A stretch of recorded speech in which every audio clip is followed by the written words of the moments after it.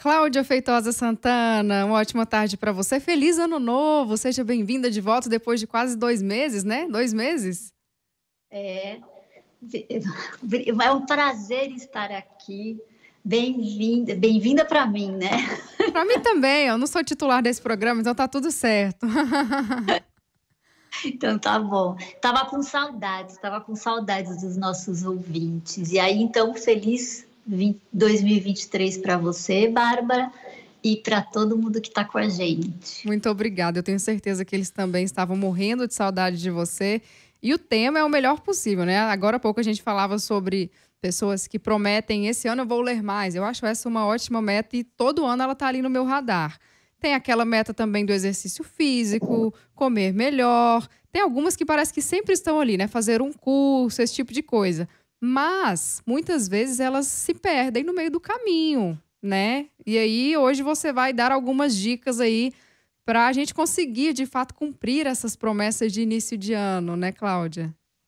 É, é eu estava lendo e parece que a maioria das metas e das promessas de ano novo, até o final do mês de janeiro, as pessoas já desistiram. E elas já entram em fevereiro, já chegaram no carnaval e já desistiram dessas metas. Então, para a gente refletir um pouco do porquê que as pessoas desistem das metas e como é que faz para melhorar isso, tem dois componentes super importantes que dá para perceber que falta quando as pessoas fazem essas promessas de um para o próximo ano, essas metas de ano novo. A primeira é ser realista. E, e, quando, eu, e quando eu falo assim, a primeira é ser realista, eu percebo o seguinte: parece que é fácil, né? Porque, por exemplo, essa semana eu fui na academia e eu notei que a academia estava lotada e lotada de alunos novos. Mas que até o mês que vem esses alunos desapareceram. Mas a meta não era irrealista, essa meta é realista. Só que o que, que é irrealista? Eles falam assim: esse ano eu vou para academia todo dia. Ou então eu vou fazer atividade física e não vou deixar de fazer nenhum dia. Depois de uma semana, dez dias, uma pessoa que provavelmente estava quase sedentária, ela não dá conta e ela desiste. Ah, então isso não é para mim. Não é que não é para a pessoa. O que não é para a pessoa é ter essa meta irrealista. E aí, como a expectativa é alta, o plano é muito alto, a frustração também é gigantesca. Então ela acha que não é para ela, então ela desiste. Mas o que ela precisava é o quê? Ser, é o que a gente fala assim, o pensamento positivo do que vai acontecer e de repente eu vou fazer todos os dias da semana ou qualquer uma das minhas metas, isso faz muito mal. É o que a gente fala do otimismo irrealista. Ele é extremamente tóxico. Por isso que nós precisamos ser realistas. Mas o que, que é realista? Não é sair do zero para tudo, mas é ir aos poucos. O otimismo realista, ele é o que nos ajuda. E aí, se você é um otimista, considera a sua realidade e como você consegue fazer isso, esse como fazer isso é você fazer um planejamento. Quando a gente faz um planejamento que considera como que a gente realmente pode colocar em prática, a gente, na verdade, está conseguindo se colocar os prazos para a gente poder fazer. E tem que ser o quê, Bárbara? Tem que anotar, tem que escrever. Não tem Porque jeito. que você faz e fica na sua mente, não existe um compromisso. Quando você escreve ou quando você planilha no Excel, está documentado. Então, se você tiver que atrasar, você vai ter que escrever, você vai ter que deletar. É uma outra história. E esses prazos autoimpostos e documentados, eles ajudam a uma minoria que é perfeccionista que não procrastina, está sempre trabalhando, mas está sempre aperfeiçoando, aperfeiçoando e nunca termina. Se ela tem um prazo, ele é obrigado a terminar. E uma grande maioria, que na verdade não é a maioria, somos todos nós que de alguma forma tem que lidar com a procrastinação. E o planejamento ele é feito para isso, para você realmente conseguir colocar em prática e incluir lidar com a procrastinação. Nossa, pois é. Eu, infelizmente, eu tô nesse grupo de 880. Então, por exemplo, eu tenho uma relação muito assim com exercício físico, né? Eu fiz capoeira por muitos anos e aí desde que eu parei, assim, que comecei a ter uma vida mais intensa de cuidar da própria casa, a gente sabe que a rotina é complicada, mas aí eu falo, vou começar a fazer. Aí eu faço lá três dias, assim, sabe, maravilhosamente bem, corpo todo dolorido, mas de repente, aí falha um dia, falha o segundo, e aí é como você disse, esse perfeccionismo, ele é muito vulnerável, né? Você vai romper com ele a qualquer momento. Então, só recapitulando, o segredo, vamos, vamos supor, como você falou de metas realistas, eu vou anotar lá, vou começar no primeiro mês fazendo duas vezes na semana. Aí depois três vezes. Então, gradativamente, né? Sem esperar que eu comece já no 100. Né? Tem que começar devagar. É, é isso, né? Tem que começar devagar. Atividade física, mesmo alimentação saudável. Você não vai conseguir ter uma alimentação saudável do dia 31 de dezembro que você se fartou e aí no dia primeiro, no, no dia primeiro, pior ainda, né? Que você tá, que você vai começar a ter uma, de repente você vai ter uma alimentação somente saudável. Não, você tem que mudar gradativamente, senão a gente não consegue fazer, não tem como. Os perfeccionistas, se não está tudo bem, ou seja, se não estou indo todo dia, porque isso não é para mim. Então, na verdade, você está no grupo daquelas pessoas que eu vi na academia na primeira semana Exatamente. do mês, e daqui a pouco elas desaparecem. E aí você fica pensando assim, mas não precisava desaparecer. Era só ir uma vez, duas, né? Vai menos. Vai um pouquinho, vai devagarzinho. E até uma coisa de gentileza conosco, né? De, de ser gentil com a gente, de entender os nossos limites entender que essa questão do hábito também é uma coisa que demora um pouco, né? O hábito não se constrói do dia para a noite. Isso também é importante quando a gente pensa nessas metas, né, Cláudia? É, a procrastinação é como se ela fosse o, o, o, o álcool nosso. Pensa num, num alcoólico, um alcoólatra, que tem que lidar com isso todos os dias. E, na verdade, todo ser humano tem que lidar com a procrastinação todos os dias. Porque é óbvio que existem graus diferentes, mas todo mundo, de alguma forma, acaba tendo que lidar, por exemplo, com uma procrastinação, empurrar um pouquinho.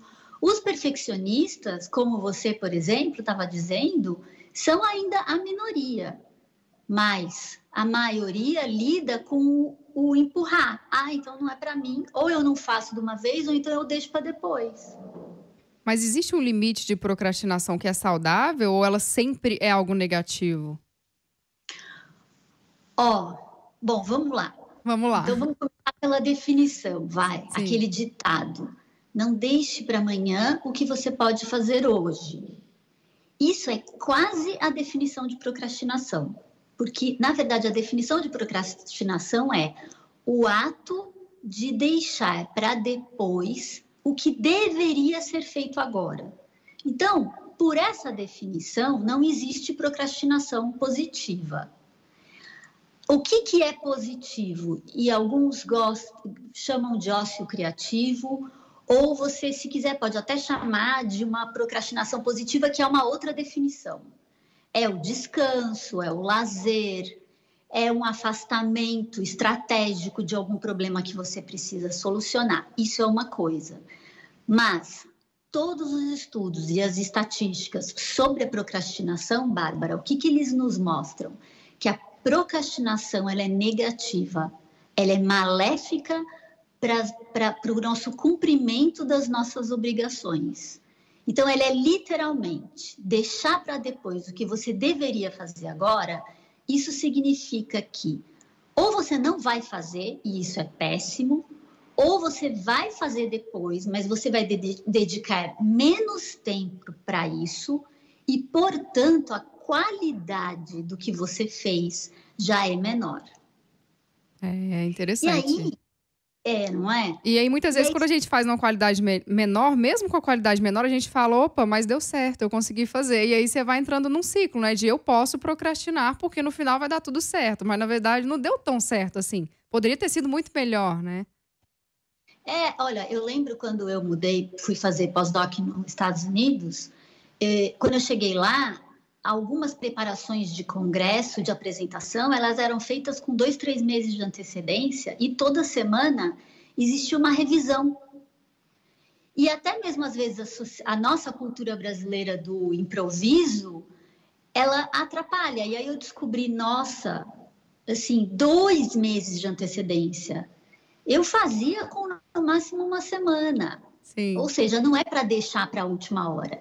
E como você fez e entregou, mas assim, quem tem uma autocrítica vai parar e vai avaliar. É, mas poderia ter ficado melhor.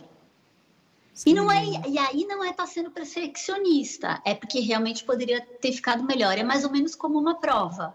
Se você tivesse estudado por mais tempo, você teria ido melhor, mesmo que você tenha passado. Essa é boa para estudantes. Mas assim, a teoria da neurociência, né, que ajuda realmente a gente a entender o porquê a gente procrastina, ela é bem interessante.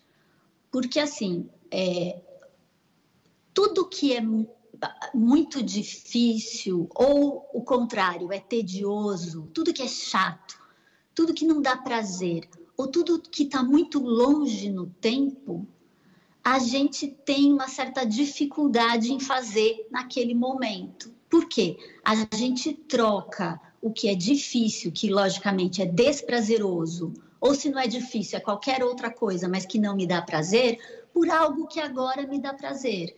É por isso que é difícil poupar. Para aposentadoria, por exemplo, é por isso que é difícil pensar, é, se, ir atrás, por exemplo, de questões que você tenha que deixar para depois da sua morte, porque está lá no futuro e está lá longe, que é o que a gente quer. Então você faz essa troca. Tem uns nomes complicados, tem uns descontos que a gente faz que não vale a pena entrar no detalhe mas eu sempre vou preferir o benefício agora, o prazer agora e deixar tudo que é desprazeroso para depois. Mas, mas muito do que é desprazeroso agora pode, pode me trazer benefício e prazer a longo prazo. O problema é que quanto mais a longo prazo, mais difícil é para a gente ter isso em mente, considerar e optar por fazer agora. Sim. Então, essa opção, ela nos atrapalha. Uhum. E aí entra a autodisciplina, né? A autoliderança. No seu livro, Eu Controlo Como Me Sinto, tem um capítulo sobre autoliderança. E é uma das dicas é, para a gente conseguir vencer essa procrastinação, porque eu tenho que ser maior do que essa minha vontade de deixar para depois, né? É, de querer comer o chocolate agora. de querer é, optar por assistir a estreia do episódio do seriado Favorito que vai entrar agora, mas que era o horário que eu deveria estar indo para academia. É interessante a gente olhar na história da procrastinação da humanidade, porque o que, que ela indica? Que assim, lá na agricultura, os seres agrícolas, eles até poderiam procrastinar, mas era muito pouco, porque eles tinham que lidar com aquelas questões da natureza Agora, a procrastinação, ela piorou demais com a Revolução Industrial. Porque esse ser que era urbano, com as facilidades de eletricidade, depois veio geladeira, todas essas tecnologias, ele começou a poder se dar ao luxo de deixar para depois uma coisa que antigamente ele tinha que fazer naquele momento. Ele não poderia simplesmente contar que tem alimento na geladeira. Então, essas facilidades pioraram a nossa procrastinação. E pior ainda, né, nas últimas décadas aumentou demais o problema com a procrastinação. Começou com a televisão, década de 60, 70, e agora com a internet, a, as tentações que a gente tem para ter esse prazer agora e deixar as nossas obrigações ou as nossas metas ou até essas coisas boas que a gente sonha em fazer, deixar para depois. Então você tem uma infinidade de aplicativos, fica trocando mensagem com um amigo, milhões de coisas e a tendência é só piorar. E pior, Bárbara, com a mudança do mercado de trabalho, esses empregos formais que você tem o chefe que impõe os prazos para você, vão reduzir cada vez mais e cada vez mais as pessoas elas vão precisar ser as suas próprias chefes, ou seja, elas vão precisar tá, estar sempre se impondo e se autoimpondo os prazos. É muito mais eficiente alguém externamente te impor prazo. Sim. Tá, tá na literatura da procrastinação. Só que cada vez mais a gente vai ter que lidar com essa autoliderança. Essa imposição de você mesmo ter que estabelecer e ter que cumprir. E isso requer uma disciplina.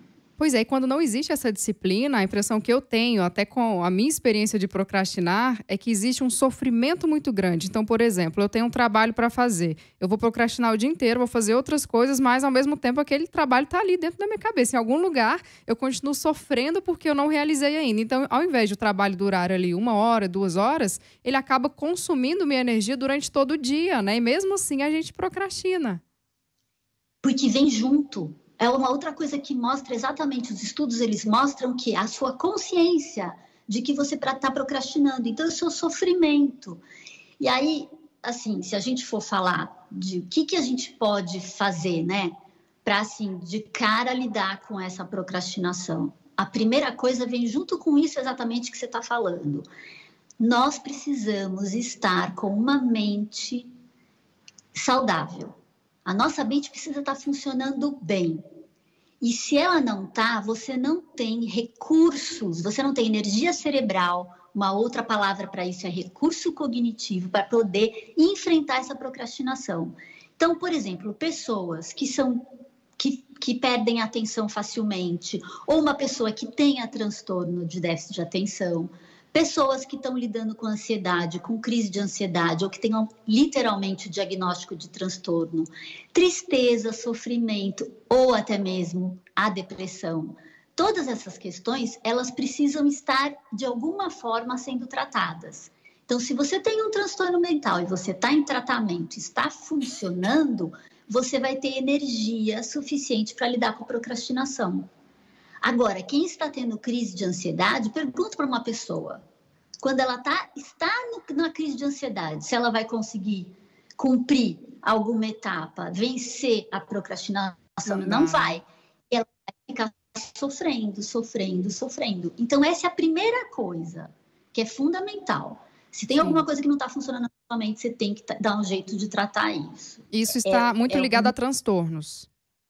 A saúde mesmo. E está ligado aos transtornos. E se não é um transtorno, e só é a ansiedade que vem e vai, você precisa ter algum mecanismo para poder lidar com isso. Se, não, se os seus mecanismos, automecanismos não funcionam, você precisa de ajuda, você precisa de um profissional, um psicólogo habilitado. E caso só o psicólogo com um tratamento não é suficiente, vai para um psiquiatra. Mas isso é muito importante. Agora, essa é a primeira coisa. Agora, uma, uma outra, e isso raramente as pessoas comentam, né? Agora, os estudos aí não são recentes, mostram que parece bobagem, mas, por exemplo, uma pessoa que se propôs a ir à academia, por exemplo, todos os dias esse ano, mas ela, digamos, comece duas vezes por semana, tá? Certo. Até o, o, ideal é que ela não fale assim: eu vou duas vezes por semana na academia até o dia 31 de janeiro, porque em fevereiro eu vou querer ir três vezes por semana. Não, é agora, hoje. Três semanas é a duração. Quando você tenha as suas, as suas, as suas metas em durações, é mais fácil você não procrastinar do que quando você tem data. Parece uma coisa boba, de fato, né? Coisa boba, mas é assim, parece que quando você coloca uma data, parece que ela está mais longe do que o prazo. Uhum. 31 de janeiro está mais longe do que três semanas. Se eu penso em três semanas, parece que o mecanismo nosso mental que a gente usa é que a gente foca no resultado. E é porque eu vou cumprir o meu, a minha meta de duas vezes por semana, e aí o meu resultado é que eu já vou estar apto a fazer três vezes por semana. Se eu falo 31 de janeiro, parece que a gente foca no processo.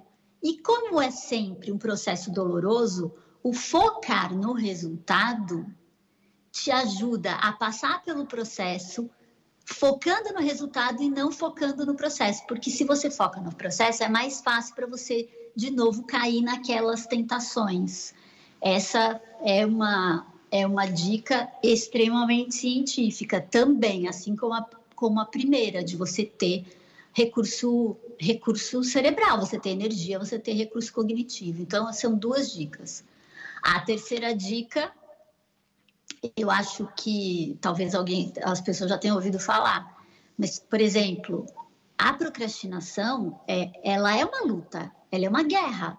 Sim. É uma guerra é, minha comigo mesma. Então, eu tenho que entender que, que, assim como diz o ditado, que não se ganha uma guerra em um dia, você ganha, são batalhas, né? Você tem que dividir a sua meta. Por exemplo, eu quero correr uma maratona. Não é daqui para dois meses você que de repente estava sedentário e correr uma maratona. Não. Você tem que ter um planejamento, ou seja, você tem várias batalhas que você tem que vencer até você conseguir, por exemplo, correr uma maratona. Ou então, como você voltar na. A capoeira também tem, tem tem aquelas cores, tem os. Isso, as graduações, né? As graduações, você não vai pular de novo e estar tá de novo lá no alto. Não dá. Você vai ter que ir poucos. É, eu já cheguei então, no, no e... ponto de, de desapego que eu só quero fazer, eu não quero nada, eu só queria praticar mesmo para conseguir ter esses benefícios, né, mentais e físicos. Eu já estou até desapegada disso. Ah, mas é mais fácil, então. É. é mas é se impor, é dia sim, dia não, dia sim, dois dias não. Tem que começar realmente aos poucos. E cada batalha que você vende, ou seja, por exemplo, uma pessoa, ah, eu vou duas vezes por semana na academia durante um mês, quatro semanas, porque depois eu quero passar aí três. Conseguiu? Venceu essa batalha?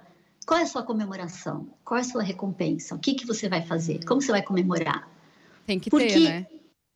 Tem uma outra coisa que o nosso cérebro faz quando você faz um sacrifício muito grande e você consegue, você se valoriza mais do que quando você faz sem grandes sacrifícios. Mas você precisa valorizar, porque da próxima vez você precisa lembrar que você consegue.